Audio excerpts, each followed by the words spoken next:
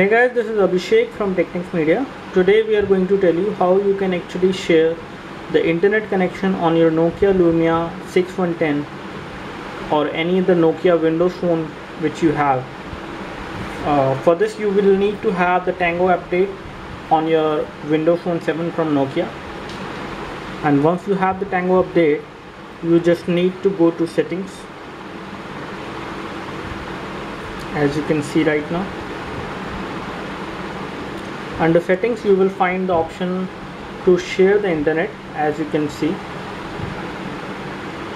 And you just need to turn this option on. So right now this phone doesn't have a SIM card inserted. So that is why it is showing this error right now. If you have any Nokia phone in which a SIM card is inserted and you have an active mobile data connection this is how you can actually turn on this option and then share the internet connection. Basically share the 3G connection on your SIM card using this phone. And then you can create a Wi-Fi hotspot using your Windows phone. And then connect to that particular Wi-Fi hotspot to access internet from your laptop or any other Wi-Fi based devices.